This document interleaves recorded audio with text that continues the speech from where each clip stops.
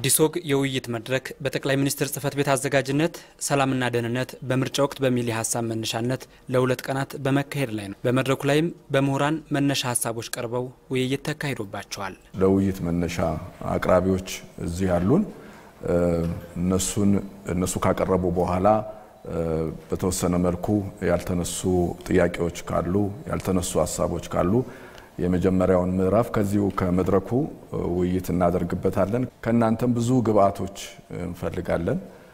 ይሄ የ2013 ምርጫ ሰላማዊ ሆኖ እንዲጠናቀቅ ገና ከጅምሩ በምርጫ ወቅትና ከምርጫው በኋላም ምን መደረግ እንዳለበት ከብዙዎቻችሁ ብዙ ሀሳብ እንዲንጸባረቁ ከዚህ መድረክ ይፈለጋል።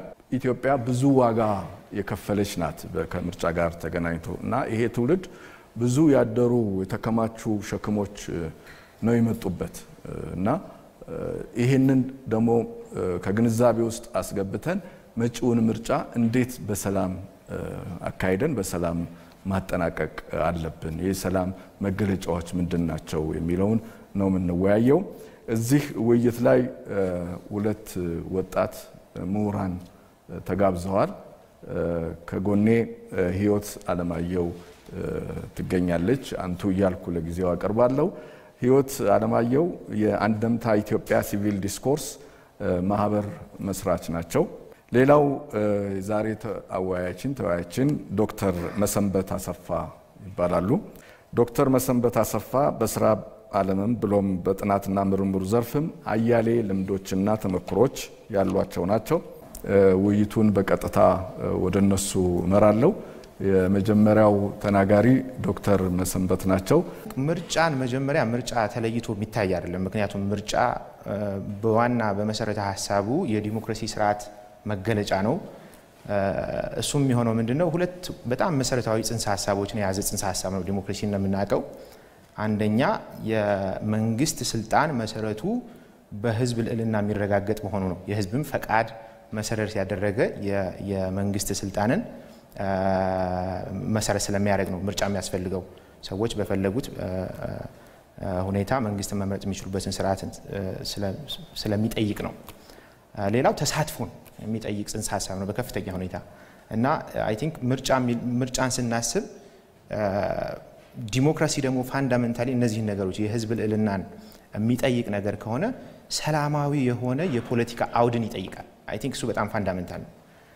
ምክንያቱም አመፅን፣ ጦርነትን ተጠቅመን የመንግስትን ስልጣን መያዝ ትክክል አይደለም ካል መሰረቱ የሚሆነው ሰላማዊ የሆነ የፖለቲካ አውድ በጣም important ነው እና እሱን I think የማስረገጥ ምንድን ነው ማሳየት በጣም አስፈላጊ ይመስለኛል። ሌላው maybe ከሰብአዊ መብትም ጋር የተያያዘ ጽንሰ ሀሳብ ነው። እንግዲህ የመምረጥ መብት ዲሞክራሲያዊ ብቻ ሳይሆን በዓለም አቀፍ የሰብአዊ መብት ሰነዶች ለምሳሌ የሲቪልና የፖለቲካ መብቶችን ቃል ኪዳን እንደዚሁም ሌሎቹን ካየን መሰረታዊ የሰብአዊ መብት ተደርጎ ነው የሚታየው እና እሱም የሚያሳየ ምንድን ነው ከሰላም በላይ even መሰረታዊ የሆነ የሰብአዊ መብት መሆኑንም የሚያሳይ ጽንሰ ሀሳብ ነው። ሌላው እንግዲህ ምርጫ ሰላማዊ መሆኑን ስናይ ምንድን ነው ቅድም እንዳልኩት ነው በማንኛውም መልኩ የመንግስትን ስልጣን መያዝ ትክክል አለመሆኑንም ያሳያል። so I think ሰላማዊ የሚለው ጽንሰ ሀሳብንም እና ደህንነት የሚለውን ጽንሰ ሀሳብ በጣም አስፈላጊ የሚሆነው ለምንድን ነው? በአመፃ በጦርነት የመንግስትን ስልጣን መያዝ በፍጹም የተከለከለ ነው። ምክንያቱም የመሰረታዊ ሀሳቡ ጽንሰ ሀሳቡ ምንድን ነው? የህዝብ ልዕልና መከበር አለበት ነው። የህዝብ ልዕልና ደግሞ የሚገለጸው በፈቃዱ አንድ የሆነ የፖለቲካ ማህበረሰብ የሚፈልገው መንግስት መምረጥ ሲችል ነው እና I think ምርጫን ተነጥሎ ማየት የለብንም ለማለት ነው። ይሄን የምናገረው ለምንድን ነው? መሰረታዊ የዲሞክራሲያዊ ስርዓት ሀሳብ መገለጫ ስለሆነ ነው እንጂ በጣም ተለይቶ የሚታይ ጽንሰ ሀሳብ አይደለም። እሱም በጣም ማስረገጥ በጣም important መስሎ ስለታየኝ ነው። ከፍተኛ የሆኑ የፖለቲካ የጸጥታ ችግሮችን በምርጫ ሂደቶች ላይ ይከሰታሉ። ጥናቶች የሚያሳዩት እሱን ነው። ለምሳሌ የ electoral knowledge network የሚባል አለ። ጥሩ database እንደው ብታዩት ጥሩ የሚመስለኝ በአፍሪካ ውስጥ ያሉ ከ10 20 ዓመት በፊት የተደረጉ የምርጫ እንትኖችን ገምግመው ከ20 percent በላይ የሚሆኑት ግጭቶችን ያስተናግዱ እንደሆኑ ያሳያል። ያ ማለት ምንድን ነው? ዝግጅት ማድረግ እንዳለብን ይጠይቃል። of course ሰላማዊ የሆነ የምርጫ ሂደትን ለማረጋገጥ መንግስት ብቻ ሳይሆን እንደ ዜጎች፣ እንደ ሲቪል ማህበራት፣ እንደ አስተማሪዎች የቻልነውን ያክል ሁሉንም ነገር ላናደርግ እንችላለን፣ ግን የእያንዳንዱ ዜጋ ኃላፊነት ነው ብዙ ነገርን I think ሊቀየር የሚችለው እና አንዳንድ ነጥቦችን ማንሳት እፈልጋለሁ። አንደኛ በጣም important ነገር የሚመስለኝ ሰላማዊ እንግዲህ ምርጫንና የዲሞክራሲ ሂደትን ለማስጠበቅ የሰብአዊ መብት ማክበር። maybe ተለይቶ በማንኛውም ሁኔታ የሰብአዊ መብት መከበር አለበት ብዬ አምናለሁ። እና ከተባበሩት መንግስታት ቻርተር በጣም ደስ የሚለኝ ቃል አለ የ United Nations charter። እና እሱ ምንድን ነው የሰብአዊ መብት መከበር ለዓለም ሰላም መሰረት ነው ይላል። በጣም በጣም powerful statement ነው። እና በማንኛውም ሁኔታ of course ሰላም ምንድነው? ሰብአዊ መብት መከበር በጣም ለሰው ልጆች ክብር መከበር አስፈላጊ ነገር ነው።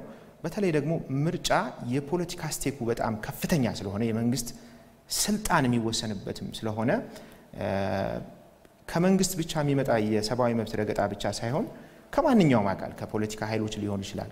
ሰዎችን ማዋከብ፣ ክብራቸውን መንካት፣ አንድ የፖለቲካ ደጋፊ ስለሆኑ ጥቃት ማድረስ፣ እንደዚህ አይነት ነገሮች በጣም I think ምንድን ነው ሊቆሙ ይገባል እና የሰዎችን ክብር በምርጫም ዙሪያ ላይ ማረጋገጥ በጣም አስፈላጊ ነገር ይመስለኛል ነው። ስለፈለግነው አንዳንድ ነገር ሊመጣ አይችልም። ኃላፊነቱን መሸከም መቻል አለብን እና ዲሞክራሲ ነፃነትን ፈልገን ዲሞክራሲ የሚፈልገውን ነፃነት የሚፈልገውን ዲሲፕሊን፣ ስርዓት ማምጣት ካልቻል ምንፈልገው ነገር ላይ መድረስ አንችልም። የዜጎች ግዴታስ ምንድን ነው? ሀሳብ የመግለጽ ነፃነት የሚሰጠው ለምሳሌ ሰዎች የተሻለ ሀሳብ የ market place of ideas በሀሳብ ገበያ ውስጥ የተሻለው ሀሳብ አሸንፎ እንዲወጣ ነው እንጂ ሰዎች የጥላቻ ንግግርን፣ አመፅ የሚያነሳሳ ንግግርን ለመናገር አይደለም። ጤናማ የሆነ የፖለቲካ ባህልን ለመመስረት ነው እና ያ ግን ሲሆን አናየውም። እጅግ በጣም በሚያሳዝን ሁኔታ እኔ በ personally በፖለቲካና በአካደሚያዊ ህይወቴ ለመጀመሪያ ጊዜ frustrate ያልኩበት ነገር ነው። ምክንያቱም እንዳልኩት ነው ዲሞክራሲን ስንፈልግ ነፃነትን ስንፈልግ የሚፈልገውን ዲሲፕሊንና ስርዓት ማምጣት ካልቻል አስቸጋሪ የፖለቲካ ሁኔታ ውስጥ ነው የምንገባው። አመሰግናለሁ። ወደ ህይወት አለማየሁ ሄዳለሁ። እንግዲህ ስለ ምርጫ ስናስብ ስለ ምርጫ ታሪካችንን ማሰብ አለብን። ወደኋላ የምርጫ ታሪካችንን ስናይ አንዱ ምርጫ ለሚቀጥለው ምርጫ ያለውን እድል እያጠበበ የመጣበት ሁኔታ ነው የምናየው። ስለዚህ አንዱ ምርጫ ከአንዱ ምርጫ እየተበደረ የመጣበት ሂደት ነው። ይሄ ሂደት ከውድድሩ ጎን ለጎን የሚሰራው የዲሞክራሲን የማበልጸግ የማሳደግ ስራዎች ለምሳሌ የንግግር ባህላችንን፣ የመደማመጥ ባህላችንን፣ የተለያዩ ሀሳቦች ሲነሱ የማስተናገድ አቅማችንን፣ የመቻቻል አቅማችንን እንደዚሁም ደግሞ የፖሊሲ አማራጮችን ወደ ምርጫ ስርዓታችን ይዘን የመምጣታችንን እንደገናም ደግሞ ሕግን የማክበር የማስከበር አቅማችንን ሁሉ ስናይ ምርጫ ፉክክር ብቻ ሳይሆን የዲሞክራሲም ግንባታ እንደሆነ ማሰብ አለብን ማለት ነው። ከዛ አንጻር ስናየው እንግዲህ ምርጫችን እኔ ባለዕዳ ነው ብዬ ነው የማስበው። ከፊታችን ያለው ምርጫ ዕዳ አለበት። ምናልባት እንደ ምሳሌ የማነሳው ሁላችንም ቅድም ያነሳ ነው ነው በ1997 የነበረው ምርጫ ላይ የነበሩ ሁኔታዎች በተለይ በምርጫው ቀን ከምርጫው ቀን በኋላ በተፈጠሩ አለመግባባቶች፣ ፍትሐዊነት በሌላቸው ህጋዊነት በሌላቸው እንቅስቃሴዎች ውስጥ ከዛ በኋላ የመጡት ሁለት ምርጫዎችን ብናይ የህዝብ ተሳትፎ ያልነበረባቸው፣ የሚዲያ ትኩረት ያላገኙ፣ የአንድ ፓርቲ የበላይነት ብቻ የታየበት ሆኖ ቀጥሏል። ስለዚህ የምናየው ምንድን ነው? ማሸነፍ መሸነፍ ብቻ ሳይሆን የምርጫ ሂደት ውስጥ የፖለቲካ ባህል መርሸርሸር ሊኖር ስለሚችል አሁንም የምናስብበት መንገድ በመንታ መንገድ ወይ ደግሞ በሁለት አቅጣጫ ልናስብ ይገባል ማለት ነው። የሰላም መንገዶች በተለይ በምርጫ ወቅት ምንድን ናቸው የሚለውን ለይቶ ማወቅ ያስፈልገናል ማለት ነው። ምክንያቱም ሰላም መስዋዕትነት የሚጠይቅ ነው። በተለይ በምርጫ ጊዜ ሰላም ሰጥቶ መቀበልን ይጠይቃል። ሰላም እንደገና በተለይ የዚህ ጎልደን ሩል የምንለው ወርቃማ ሕግ የምንለው ለእኛ የምንፈልገውን ነገር ለሌሎች መስጠት ይፈልጋል። እኛ መደመጥ ከፈለግን ሌሎችን ማዳመጥ አለብን። እኛ የምንፈልገውን የሰላም ሂደት ወይ ደግሞ እኛ የምንፈልገውን መብት ለሌሎች መስጠት አለብን። ስለዚህ ሰላም ፍላጎት ብቻ ሳይሆን ሰላም መስዋዕትነትም የሚጠይቅ ጉዳይ መሆኑን አትኩሮት መስጠት አለብን። ሰላማዊ ምርጫ ለማግኘት ወይ ደግሞ የሰላማዊ ምርጫ መንገዶች ብለን ከምናስባቸው ነገሮች ውስጥ የመጀመሪያው ሊሆን የሚገባው ህዝብ የስልጣን ምንጭ እንደሆነ ማሰብ ነው። ህዝብ የስልጣን ምንጭ ከሆነ የህዝብ ደህንነት ሊጠበቅ ይገባል። ህዝብ በነፃነት ሊመርጥ ይገባል። ህዝብ ግንዛቤ ሊያገኝ ይገባል። መረጃ ሊያገኝ ይገባል። አቤቱታ የሚሰጥበት፣ አቤቱታው የሚደመጥበት፣ በአቤቱታ ውስጥም ደግሞ የራሱን የሚያምናቸውን ሰዎች በዛ ውስጥ የማስቀመጥ አጠቃላይ ሂደቱን የመቆጣጠር ስልጣን ይኖረዋል ማለት ነው ህዝብ።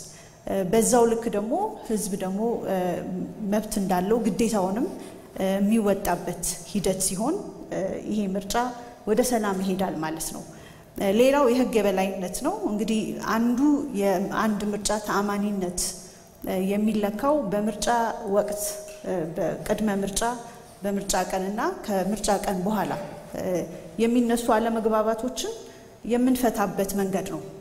አቤቱታዎችን የምንፈታበት መንገድ ቅልጥፍናው፣ ፍትሐዊነቱ፣ ገለልተኛነቱ ትልቅ ለምርጫ ተአማኒነት ቦታ ይኖረዋል። ስለዚህ የህግ የበላይነት በትልቅ እይታ ወይ ደግሞ ትልቅ አስምረን መያዝ ያለብን ጉዳይ ይሆናል። ገለልተኝነትም እንደዛው ነው። ገለልተኝነት እንግዲህ አዋጁ ላይ ገለልተኛ እንዲሆኑ የሚጠየቁት ሚዲያ፣ ሲቪል ሶሳይቲ፣ ታዛቢዎች፣ የጸጥታ አካላት፣ የፍትህ አካላት እነዚህ በጠቅላላ ገለልተኛ መሆን አለባቸው። በአንዱ በኩል ገለልተኝነት ከሌለ አጠቃላይ የምርጫውን ስርዓት ያቃውሰዋል። ምርጫ የልዩነታችን መገለጫ ነው ብቻ ብዬ አላስብም። የአብሮነታችንም መገለጫ ነው። ምክንያቱም በአንድ የፖለቲካ ኢኮኖሚ ውስጥ ስለምንኖር ብዙ ግንኙነት ስላለን የህይወታችን የማህበረሰባዊ ግንኙነት፣ የፖለቲካ ግንኙነት፣ የኢኮኖሚ ግንኙነት ስላለን ነው ወደ ምርጫ የምንሄደው። ስለዚህ ግንኙነትን እንደ ትልቅ መስመር መጠቀም አለብን። ግንኙነትን መጠቀም ማለት የፖለቲካ ፓርቲዎች ይሄንን በተለይ ለደጋፊዎቻቸው ማሳየት አለባቸው። በስብሰባ ጊዜ የሚያሳዩትን ባህሪ አብሮ መብላት፣ አብሮ መጠጣት፣ ሰላምታ መሰጣጠት፣ አብሮ አንዳንድ ጊዜ ወጥቶ ኢቨን በጎ ስራዎችን መስራት የተከታዮቻቸውን ቀልብ የሚስብና ሌላ ግንኙነት ማህበራዊ ግንኙነታችን እንዳይበጠስ ሌሎች ግንኙነቶቻችን እንዲቀጥሉ የሚያደርግ በመሆኑ ይሄንንም ማሳየት የስልጡን ውይይት ወይ ደግሞ ከስልጡን ማህበረሰብ የሚጠበቅ ነው ብዬ ነው የማስበው። እንግዲህ ባለድርሻዎች ናቸው ብለን የምናስባቸው ዋነኞቹ የፖለቲካ ፓርቲዎች ናቸው። የፖለቲካ ፓርቲዎች በቅስቀሳ ወቅት የሚያደርጓቸው ነገሮች ሕግን ያከበረ መሆን አለበት። በሕጉም ደግሞ እንደተቀመጠው የራሳቸውን ደጋፊዎች ግንዛቤ የመጨመር ኃላፊነት አለባቸው። ምናልባት ያልተነሱ ብዬ አንድ ሁለት ጥያቄዎችን መሰንዘር ፈልጋለሁ ወደ እናንተ ውድ ታዳሚዎች ከመምጣቴ በፊት በተለይ ከምርጫ ቦርድ ጋር በተያያዘ ከዚህ ቀደም 97ም ከዛም በኋላ በነበሩት የምርጫ ሂደቶች ውስጥ ያየነው ምንድን ነው? ምርጫ ቦርድ ከሱ ኃላፊነት ውጭ የነበሩ ምርጫውን አሸንፈናል ተብሎ በቴሌቪዥንም መግለጫ ተሰጥቷል 97 ዓመተ ምህረት። ነገር ግን ህጉ ስርዓቱ ምርጫ ቦርድ ነው መግለጫዎችን ማውጣትም ያለበት እና ከዚህ አንጻር የምርጫ ቦርድ ሚና በተለይም እያንዳንዱን የምርጫ ጣቢያ በማየትና በየምርጫ ጣቢያው ላይ ሰላማዊ የምርጫ ሂደት መኖሩን ለማረጋገጥ ምን አይነት ትስስር ከጸጥታ አስከባሪዎች ጋር ምን አይነት ትስስር መኖር አለበት የሚለውን ነገር ዶክተር መሰንበት ይህንን ያው ነካክተዋል። ግን በስርዓት ይሄ አንድ ተጨባጭ ነገር ብናገኝበት በዚህ ሀሳብ ላይ ጥሩ ነው ብዬ ስላሰብኩ እዛ ላይ አንዳንድ ነጥቦችን ብትሰነዝር በጣም ጥሩ ነው ብዬ አስባለሁ። ለህይወት በተለይ ከሲቪል ማህበረሰብ ጋር ተቋማት ጋር ያለው ጉዳይ አሁንም በጠንካራ መልኩ መሄድ ያለበት እንደዚህ አይነት ውይይቶች በየቦታው ያስፈልጋሉ። ከተሞቻችን በጣም ያስፈልጋሉ። እንደ ማርያ ሙኒር አይነት ሰዎች ስለ ሰላም እያለቀሱ በየቦታው የሚለምኑ ሰዎችን አቀናጅቶ ይሄ ምርጫ በሰላም እንዲጠናቀቅ ምክንያቱም ፍርሃቱ ስላለ ማለት ነው። የባለፉት ዓመታት በጣም ፍርሃት አለ። ሰው ፍርሃት ውስጥ ነው ያለው። ከዚህ ፍርሃት ውስጥ ወጣ ብሎ ነፃ ምርጫ እንዲያካሄድ የተቋማት ሚና ላይ ረገጥ አድርገሽ የተወሰኑ ነጥቦችን እንድታነግሩኝ ነው። ከመሰንበት ልጀምር ዶክተር መሰንበት። ሰላማዊ ምርጫ ፍትሐዊ፣ ነፃ ምርጫን የማስኬድና የማስተባበር መግለጫ ማውጣት አጠቃላይ ስልጣን የተሰጠው አካል ነው። በመሆኑም I think ትልቁ ኃላፊነት የምርጫ ቦርድ ላይ ነው የተጣለው። ምንም ጥያቄ የለውም እሱ ላይ። I think በመጀመሪያ ደረጃ ማድረግ ያለበት የሚመስለኝ ምርጫ ቦርድ obviously የሰላምና ጸጥታ ሁኔታ በማንኛውም ሁኔታ አስፈላጊ ነው። ግን እንዳልኩት ምርጫ ላይ ደግሞ I think የፖለቲካ ሁኔታው በጣም ምንድን ነው ትልቅ የፖለቲካ ሁኔታን የሚወስን ስለሆነ ለዚህ ተብሎ የጸጥታ አካላት ስልጠናም ይሁን ዝግጅት I think በአጠቃላይ ቢያደርጉ ለሚመጡ ችግሮች I think ዝግጅት አድርገው በተሻለ አቅም የመመለስ እና የመከታተል አቅም ይፈጥራሉ ብዬ አስባለሁ። so ይህም በተመለከተ ምርጫ ቦርድ አሁንም I think ጥሪ ነገር እያቀረበ ነው። አሁን ከዜና የምሰማው ነገር ምንድነው more ቅንጅት በተጨማሪ እንደሚያስፈልግ ነው የሚያሳየው እና ለዚህ ተብሎ ለምርጫው ብቻ ተብሎ የጸጥታና የደህንነት ሁኔታውን የሚከታተል task force ሊሆን ይችላል ከክልልና ከፌዴራል መንግስት ጋር በመተባበር የጸጥታ መዋቅሩ ምርጫው ሰላማዊ እንዲሆን ዝግጅት ማድረግ በጣም አስፈላጊ ይመስለኛል። እዛ ላይ I think ከፍተኛ ስራን የሚፈልግ ይመስለኛል። ሌላው እንግዲህ በጎ ልምዶች ተብሎ የተወሰዱት አሁን የተወሰኑ ነገሮችን እያየሁ ነበርና በጣም የመረጃ ክትትል በጣም important ነው። በየ እንግዲህ ብዙ የምርጫ ጣቢያዎች አሉ የሚካሄድባቸው ሰዎች ወኪሎቻቸው የሚመርጡባቸው በአጠቃላይ የምርጫ ሂደቱንም በምርጫ ቀን የሚሆን ከዛ በፊት የመረጃ ልውውጥ በጣም በተሻለ ሁኔታ manage ማድረግ ወይም ደግሞ መከታተል በጣም ያስፈልጋል። አሁን የኬንያ የምርጫ ሂደትን በተወሰነ ደረጃ ጥሩ ልምዶች ተብለው ከተወሰዱት አንዱ ይሄ ነው። ከምርጫ ጣቢያዎች ሊሆን ይችላል ከተለያየ ቦታ በ text በኢንተርኔት በተለያየ ነገር የተጣሩ መረጃዎች ወደ ዋናው የቁጥጥር ወደሚያደርገው አካል የሚሄድና በተሻለ ሁኔታ ነገሮችን አጣርቶ የመመለስ አቅምን መጨመር information flow የመረጃ ልውውጡ በጣም በተሻለ ሁኔታ ማቀናጀት ያስፈልጋል። ይሄ እንደ ጥሩ ሰላማዊ የምርጫ ሂደትን ያደረጉ ሀገሮች እንደ ጥሩ ልምድ ተብሎ የተወሰደ ነገር ነው እና I think ምርጫ ቦርድ እዚህ ላይም ከፍተኛ ስራ መስራት ያለበት ይመስለኛል። የሲቪል ማህበረሰቡ ትልቅ ሚና አለው እና አንደኛው ትልቁ ሚና በታዛቢነት በምርጫ ጣቢያዎች ላይ ስለሚገኝ ገለልተኛ ሆኖ የሚሆኑትን ነገሮች ማየት በዛ ውስጥ ያለውን ሚና ማጠናከር በጣም በጣም አስፈላጊ ነው ብዬ አስባለሁ። ሁለተኛው ምናልባት የማነሳው ነገር የተለያዩ አገር በቀል የሆኑ ተቋማት አሉን። እኛ እነዛን ተቋማት ማጠናከር ያስፈልጋል።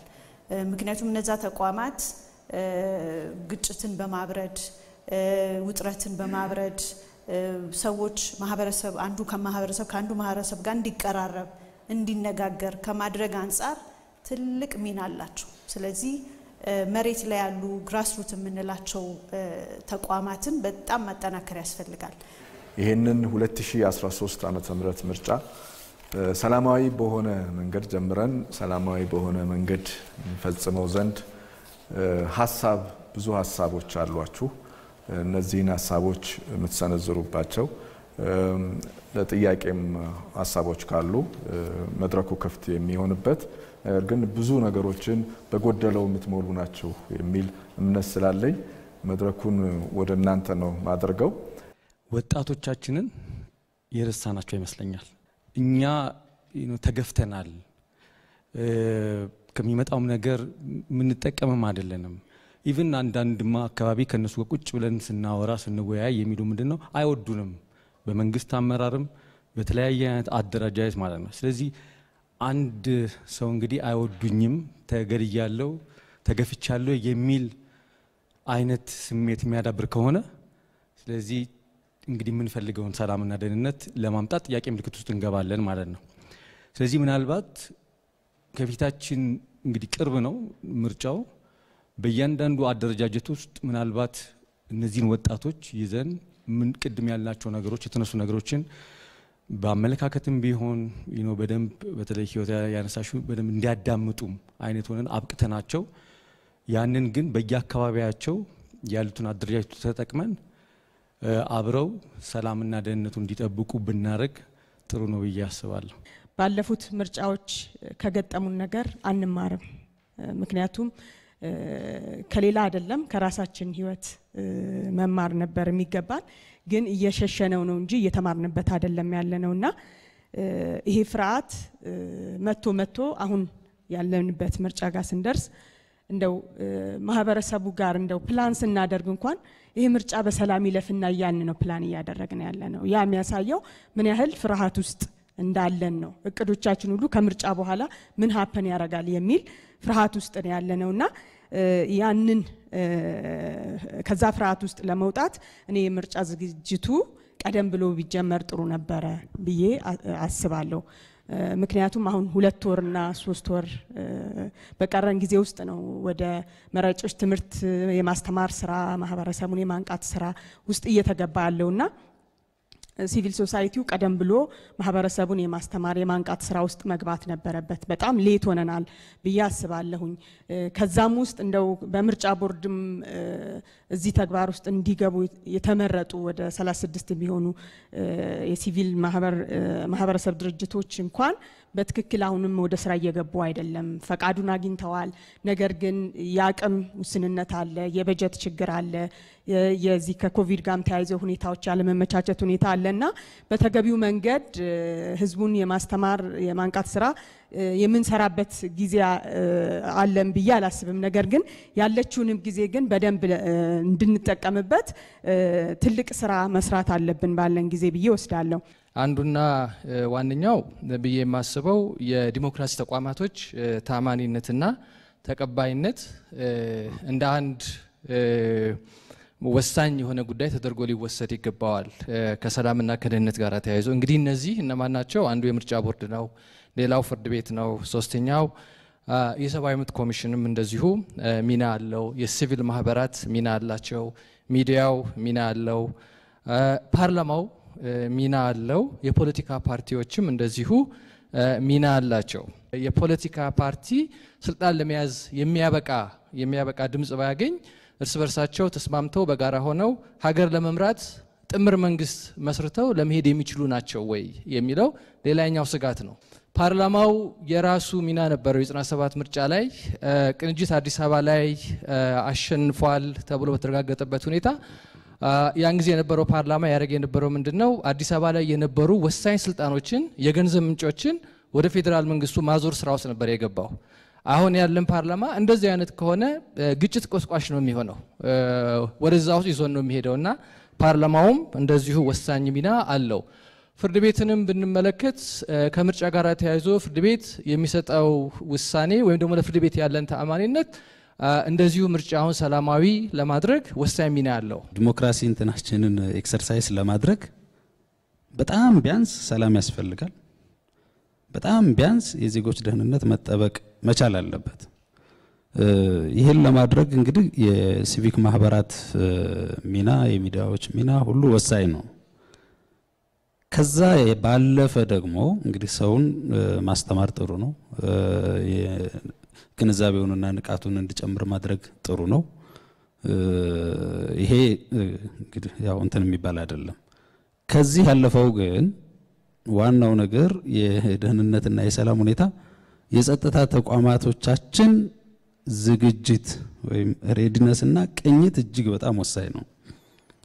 አይደለም ምርጫው በጣም እየቀረበ ሲሄድ ወይም የምርጫ ዕለትና በተለይ በተለይ ደግሞ ከምርጫ በኋላ ሊከሰት የሚችለውን ቀርቶ አሁን አሁን በዚህ ወቅት ባለንበት ሁኔታ እኮ በሀገሪቱ ውስጥ እየተፈጸመ ያለውን ነገር የምናውቀው ነው። አይደለም እንግዲህ በምርጫ ወቅት almost በመላ ሀገሪቱን በሙሉ እንትን የሚጠይቅ ነገር ነው። mobilize ማድረግ የሚጠይቅ ነገር ነው። ከዛ በፊት አሁን ባለንበት እንኳን በተለያዩ ቦታ አልፎ አልፎ ግጭቶች ሲከሰቱ እንኳን አንደኛ ቀድሞ ያንን ነገር ይሄ forecast አድርጎ የ early warning system ኣችን በጣም ደካማ መሆን ያንን ተከትሎ ሄዶ የመከላከል ሬዲነሱም ሁሉም እጅግ በጣም ያነሰ መሆን ይሄ በጣም ያነሰ ማለት በቅርቡ የተከሰቱ አንዳንድ ግጭቶችን እንኳን አይደለም መንግስት፣ የደህንነት ተቋም፣ ፖሊስ ይቅርና ግለሰቦች ሁሉ እናቅ ነበረ። ያ መረጃ ሲሰጥ እንኳን እንግዲህ ምንም act የማያደርግ የጸጥታ ተቋማት ነው sorry to say this almost የነበረው ወዳውኑ ማለት ነው። እጅግ በጣም የተለየ እቅድ ካልተዘጋጀና and ቅኝታቸው ካልተስተካከለ እነሱን ቁጥጥር የሚደረግበት ስርዓትም እንዲሁ ምናልባት በፓርቲዎችም መካከልም ቢሆን ወይ ስምምነት የሚፈጠርበት ካልሆነ በስተቀር ቅድም እንደተባለው ወጣቶችን ጃስ ለማለት ሁሉ ready ያለ አካል ሁሉ ነው የሚመስለው። ሁሉም ፓርቲ እንዲህ ከሆንኩማ እንዲህ አስደርጋለሁ የሚል ሁኔታ ሁሉ ነው በአጠቃላይ ያለው። ማስተማር አንድ ነገር ነው፣ ንቃትን መጨመር አንድ ነገር ነው። ያን አልፎ ሲመጣ ደግሞ መከላከልና ማስቆም እጅግ በጣም ወሳኝ ነው። የምርጫ ተወዳዳሪዎች ቅድመው ከመድረኩ ላይ ተነስቷል።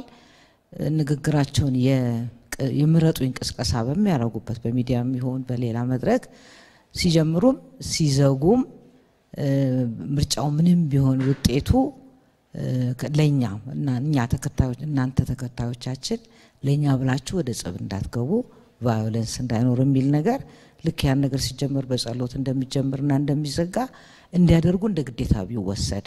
ምክንያቱም እነሱ ሲናገሩት አሁን የምንለው ወጣቶቹን አይደል ወጣቱን ብቻ ሳይሆን ሌላውም በትክክል ምን ማለት እንደሆነ ያልገባው ከዛው ከሚያምነው ከሚወደው የፖለቲካ የሆነ ነገር ያደርግልኛል ከሚለው ጋር ሲሰማው ለውጥ አለውና እሱ እንደ እንትን ቢወሰድ ብዬ አስባለሁ። ከዛ ውጭ ግን ልክ በምርጫው ሂደት ጊዜ ደግሞ አንድ ነገር ቢነሳ ምን አይነት መጠቆሚያ system እንዳለ አላቅም፣ ግን በጣም automation ላይ ተሰርቶ በቀላሉ information የሚሄድበት ነገር አለ ወይ? እሱ እስካለ እንዴት ነው በየቀበሌው በየወረዳው የሚደርስበትና እኔ ግጭት ከመጣ በመንግስት አሁን ባለው የጸጥታ መዋቅር ብቻ እንወጣዋለን። ምክንያቱም አዲስ አበባን ብቻ እንኳን ብንወስድ በጣም ሰፊ ነው። በጣም complicated ነው። ግርግራም ነው፣ ጉራንጉራም ነው አይደል በየቦታው። ስለዚህ አሁን ከዚህ በፊትም ሌሎች መንግስት በተለይ በደርግ ጊዜ እንደተጠቀሙት የአካባቢ ሰዎች የምንጠቀምበትና በደንብ ተቀናጅተው ግን ከመንግስት ጸጥታ ኃይሎች ጋር የሚሰሩበት ይህን ስንል ነጋዴውን ወይም ከነጋዴ ነኝ ከግል ብዝነስ ነው የመጣሁት እነሱንም ማሳተፍ ያስፈልጋል። የኢፌዴሪ ጠቅላይ ሚኒስትር ዶክተር አብይ አህመድ በመድረኩ ላይ ተገኝተው ሀሳባቸውን አጋርተዋል። ሁላችሁም እንኳን ደህና መጣችሁ። ስለ ውይይቱም እጅግ አድርጌ አመሰግናለሁ። ትንሽ ሀሳብ ለመሰንዘር የፈለግኩት ብዙዎቻችሁ እንዳላችሁት በዚህ ምርጫ እድልም አለ፣ በዚህ ምርጫ መከራም አለ። እድሉንና ችግሩን በትክክል የሚገነዘብ ለምን እንደሚመርጥ የሚያውቅ የመረጠው ሰው በትክክለኛው መንገድ በህጋዊ መንገድ ማለፉን የሚያረጋግጥ የሚቆጣጠር፣ ነገር ግን ስሜቱን የሚገዛ ትውልድ እንዲሆን እንደዚህ አይነት ውይይት ያስፈልጋል። ምርጫ እድልም መከራም ነው ሲባል በቅርቡ በእስራኤል ሀገር የተደረገውን ምርጫ እንደ ምሳሌ መውሰድ ጠቃሚ ይሆናል። እስራኤል እንደምታውቁት በማደግ ላይ ካሉ ሀገሮች ውስጥ የምትመደብ ናት። አነስተኛ ህዝብ ቁጥር ያላት ወደ 300 ምናምን የሚሆን ጂዲፒ ያላት በቴክኖሎጂ የምትታወቅ በብዙ ጠላቶች የተከበበች ሀገር ናት። ነገር ግን ምርጫ ተንተርሶ ባለፉት almost አንድ አመት አራት ጊዜ ምርጫ አድርጋ አራቱም ጊዜ መንግስት መፍጠር አቅቷት አምስተኛ ምርጫ ወስናለች። በአራቱ ጊዜ በእያንዳንዱ ምርጫ አንዳንድ ቢሊዮን ዶላር lose አድርጋለች። እስራኤል መሪዋን ለመምረጥ ህዳሴን lose አድርጋለች። አምስት ቢሊዮን ዶላር ማለት ከሞላ ጎደል ህዳሴ ፕሮጀክት ማለት ነው። አምስት ቢሊዮን ዶላር የወጣበት ምርጫ እና የተመረጠው ሰውዬ ምን ሊያመጣ ነው ለእስራኤል ብሎ ቆም ብሎ economically analyze ማድረግ ሲሞከር ትንሽ ይከብዳል። ትልቅ ሀብት ነው እየፈሰሰ ያለው አንድ ሀገሪቱን ተመርጦ የሚመራ የሚያዘምን ሰው ለማምጣት። ነገር ግን በአራቱ ምርጫ እንዳያችሁት ድንጋይ አይወረወርም፣ ጥይት አይተኮስም። ምርጫው ይደረጋል። ያሸነፈም የተሸነፈም መንግስት የመመስረት እድል ይሰጠዋል። በዚያ እድል ተጠቅሞ መንግስት መመስረት ሲያቅተው ድጋሚ ምርጫ ይካሄዳል። የሀገር ሀብት cumulatively የሀገር ሀብት ነው የሚጠፋው። ነገር ግን ድንጋይ አይወረወርም። ለአምስተኛ ጊዜ ምርጫ ሊያካሄዱ ነው። ይሄ ትልቅ ትምህርት የምናገኝበት ይመስለኛል። ወደኛ ሲመጣ ችግር የሚያደርገው በጣም ብዙ ኃይሎች ቋምጠው የሚጠብቁት ይሄ ምርጫ ነው። በዚህ ምርጫ አማካኝነት ኢትዮጵያ ውስጥ ችግር መፍጠር ይቻላል ብለው ብዙ ሀብት የሚያፈሱ ሀገራት አሉ። እንግዲህ ይሄንን ችግር በደንብ የሚገነዘቡ የሚያዩ ሰዎች ምርጫው አያስፈልግም፣ ምርጫው ቅንጦት ነው የሚሉ ሰዎች ዝም ብሎ ሳይሆን አርጊመንታቸው ችግሩን በማየት የኢትዮጵያን ቀጣይነትና የኢትዮጵያን ሕልውና ቅድሚያ የሚሰጡ ሰዎች ይጨነቃሉ። ምንድን ነው የምናገኘው በዚህ ምርጫ? ብዙ አክተሮች ሊያጠፏት የሚፈልጓትን ሀገር በውስጥ ሳንግባባ ምርጫ ብለን ከነበረ ሁኔታ የዘቀጠ ነገር እንዳይፈጠሩ ሰግተው እሱን አጉልተው ባይኖር ይላሉ። በሌላ መንገድ ደግሞ ምርጫው አለመደረጉ መልሶ ለመራበሽ ለመበጣበጥ እንደ entry point የሚጠቀሙ ኃይሎች ስላሉ የመንግስት legitimacy የሚያሳጡ ሰብሰብ ብለን ወደ ልማት ወደ ብልጽግና እንዳንተኮር የሚያደርጉ ጉዳዮች ስላሉ ምርጫን ማድረግ አስፈላጊ የሚሆንባቸው ቦታዎች አሉ። አሁን ትልቁ ችግር ለምሳሌ ምርጫ አይደረግ የሚሉ ሰዎች ማን ነው ኃላፊነት ወስዶ ምርጫ አይደረግ የሚለው? መንግስት ስልጣኔ እንዲቀጥልልኝ ስለማልመረጥ ምርጫ አያስፈልግም ካለ ያው ድሮ የምታውቁት የሽግግር መንግስት እያል ለረዥም ዓመታት የምንቆይበት ሁኔታ ይፈጠራል። መላው የኢትዮጵያ ሕዝብ ደግሞ አሁን እህቴ እንዳለችው automated system ኖሮ ምርጫ ይደረግ አይደረግ vote ማድረግ የሚችልበት ደረጃ አልደረሰም። ማን ነው የሚወስነው? ወሳኙ አካል consequence ንም ኃላፊነት የሚወስድ መሆን አለበት። በዚህ ምክንያት መሀል ላይ ስንቸገር ምርጫን እንደ አማራጭ እንወስዳለን። በዚህ ምርጫ በእኛ በኩል አሁን ስልጣን ላይ ያለው መንግስት በመቶ ሺህ የሚቆጠር ካድሬ እስከ በቀደም ቅዳሜና እሁድ ስልጠና ነበር። ዋናው መልእክት ኢትዮጵያን አሸናፊ እናርጋት። ኢትዮጵያ አሸናፊ የምትሆነው ስንሸነፍ አመስግነን አድንቀን መልካም ተመኝተን መስጠት ከቻል ሆኖ ስለማያውቅ በታሪካችን ለእኛም ጥሩ ነው፣ ሀገርም ይቀጥላል። ብናሸንፍ ደግሞ ሰላማዊ መሆኑን ሰዎች ተሸንፈውም እንኳን በሂደቱ ጥርጣሬ በልቦናቸው ያላደረ ከሆነ ጠቃሚ ነው የሚል ውይይት አድርገናል።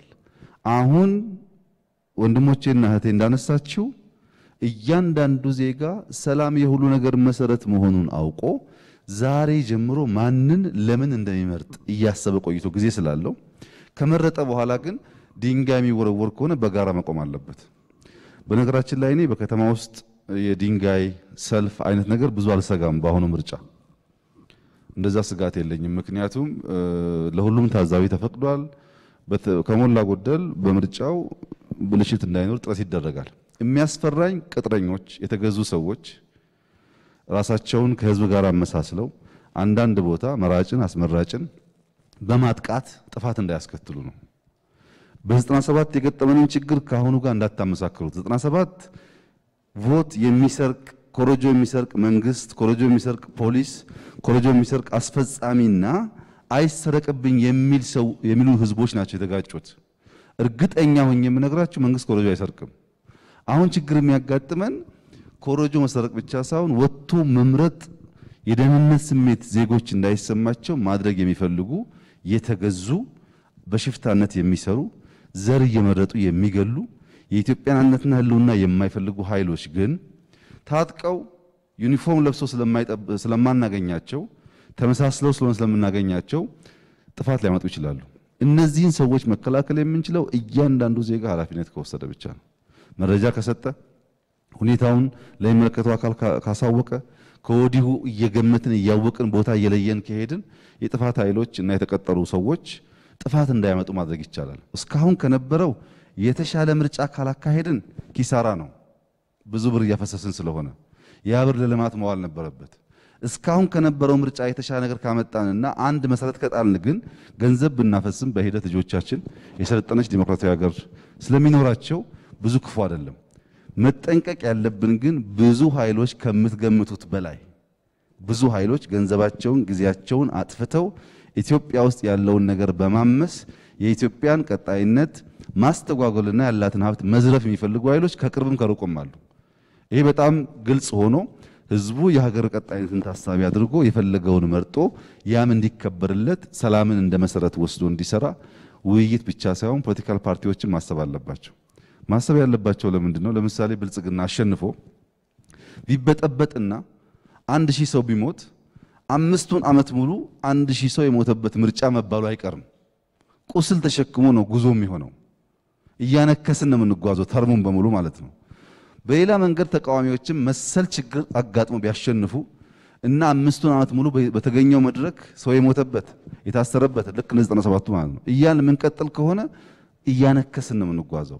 ከማነከስ ሀገራችን እንድትድን እንደ ህዝብ አንድ ሆነን እንድንቀጥል እኛ በተባላን ቁጥር የምንጠቅመው ሌሎች መሆኑን እያወቅን እያንዳንዱ ዜጋ ሲጎዳ ኢትዮጵያ እንደምትጎዳ እያሰብን ኢትዮጵያን ደግሞ በፌስቡክ ብቻ ሳይሆን ዋጋ በመክፈል መጠበቅ እንዳለም በምርጫው ጊዜ አሁን መምረጥ የማይፈልጉ ሰዎች ሂደቱ ሰላማዊ እንዲሆን ቢታዘቡ፣ ቢያግዙ፣ ችግር የፈጥረውን ሰው ቀድሞ ቢጠቁሙ ራሱ ትልቅ ድጋፍ ነው እና ዝም ብሎ አይቶ ብቻ በኋላ የሚተች እንዳይሆን ተባብረን ሰላማዊ ነገር በማድረግ ኪሳራውን የሚቀንስ ጥቅሙን ደግሞ የሚያጎላ አድርገን አንድ step ከፍ ያለ ሆኖ በሚቀጥለው ደግሞ more እያደገ እንዲሄድ በጋራ ከሰራን ውጤታማ ይሆናል። እንደናንተ አይነት ምሁራን ለጉዳዩ ቅርበት ያላችሁ ሰዎች ደግሞ ህዝብ በማስተማር በማንቃት ብትሰሩ መልካም ነው። ብዙ ድምፅ የሚሰማበት ፓርላማ ማድረግ አለብን። ግዴታ አይደለም አንድ ፓርቲ መምረጥ። ከየትኛውም ቦታ ኢትዮጵያን የሚያገለግል ኢትዮጵያን የሚወድ አንድነቷን የሚያስጠብቅ ኃይል ከመጣ ይስማማል። በሀገር ጥቅም ላይ አይለያይም። ያ አይነት ምርጫ እንዲሆን ዝም ብሎ የወረበሎች የተገዙ ሰዎች የመጫወቻ የምርጫ መድረክ እንዳይሆን ሁሉም ዜጋ በከፍተኛ ኃላፊነት ስሜት ቢሰራ ውጤታማ እንሆናለን የሚል ተስፋ ነው ያለኝ። በሚቀጥለው ምርጫ በእኔ እምነት እስካሁን ከነበረው የተሻለ ነገር ይፈጠራል የሚል ተስፋ አለኝ። አሁንም በድጋሚ ማረጋግጥላችሁ ብልጽግና ከተሸነፈ በማግስቱ ለማስረከብ መንግስት ከፍተኛ ዝግጁ ነው። ለማጭበርበር ፍላጎት የለውም። ይህም የሆነው ግን ሁሉም ወገን የዚህ አይነት ስፕሪት ኖሮት በትብብር መንፈስ ከሰራን ብቻ የሚሳካ ይሆናል ለማለት ነው። አመሰግናለሁ። እንደተባለው ተገዢዎች የሆኑ ኃይላትን እዛ ጋር የእያንዳንዱ ኢትዮጵያዊ አካባቢውን፣ ቤቱን፣ ሰፈሩን፣ አገሩን የመጠበቅ ኃላፊነት እንዳለበት ነው የሚሰማኝ እና እጅግ አድርጌ ያመሰግናለሁ። ኩራት ተሰምቶኛል ክቡር ጠቅላይ ሚኒስትር እዚህ ከኛ ጋር በመገኘቶ። ጥናት አቅራቢዎቹ ዶክተር መሰንበትና ህይወት የማጠቃለያ ሀሳቦቻችሁ መሰንዘር ትችላላችሁ። ሰላም ከሌለ ምንም አይነት የዲሞክራሲ አውድ የፖለቲካ አውድ ሊኖር አይችልም እና I think እሱ ላይ ባናሳንሰው ጥሩ ይመስለኛል። ይሄን ስናገር ቅድም እንዳልኩት ማንም ሰው ምርጫ የሚካሄደው ለስልጣን እንደሆነ ግንዛቤ ይወሰዳል። ነገር ግን ሰፊ የፖለቲካ ችግሮች ያሉበት ከዛ ደግሞ ውስጣዊ ብቻ ችግሮች ብቻ ሳይሆን ከፍተኛ የውጭ ጫናዎች ባሉበት የፖለቲካ ሁኔታ ውስጥ የያዝነውን መልካም የፖለቲካ አጋጣሚ ተጠቅመን ለረጅም ጊዜ የፖለቲካና የዲሞክራሲ ሽግግር ራሳችንን የምንላንደማምድበት የፖለቲካ አጋጣሚ ቢሆን ምርጫው ብዬ እንደ ምክረ ሀሳብ አቀርባለሁ። የፖለቲካ ኃይሎች ኢትዮጵያ ውስጥ ያሉትም ሰፊ የሆኑ የፖለቲካ ችግሮች በብዙ ነገሮች ላይ ላንስማማ እንችላለን። በሀገረ መንግስት ምስረታ ላይ ላንስማማ እንችላለን። ግን የመፍትሄ መንገዱ ላይ ግን ልንስማማ እንችላለን። እኔ ሁሌ የምናገረው እሱ ነው።